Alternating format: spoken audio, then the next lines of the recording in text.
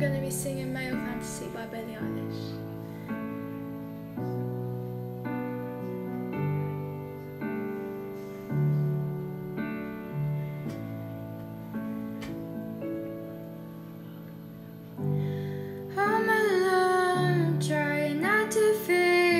Distract myself, listening to music.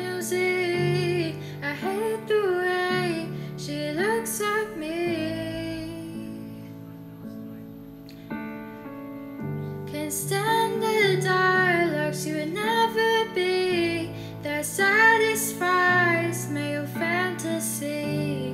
I'm going back to therapy. Cause I loved you then and I love you now, and I don't know how. Guess it's hard.